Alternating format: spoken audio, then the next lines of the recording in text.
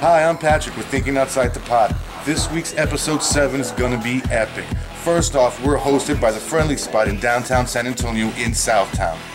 Secondly, we have a very special guest with us this week, the band Guild, who was not only cool enough to give us an interview, but stuck around and give us their ideas on topics like ride-sharing apps like Uber and Lyft and their impact on the transportation business and the concerns on passenger safety and privacy. And also the good, the bad, and the dark side of dating apps like Tinder. So head over to our Facebook and Twitter to give us your opinions, and also while you're there, enter for a chance to win signed Guild merchandise like CDs and t-shirts. Contest number one, hashtag lazy. What's the laziest thing you've ever done? Tell us about it. Contest number two, hashtag Tinder. What's your best pickup line?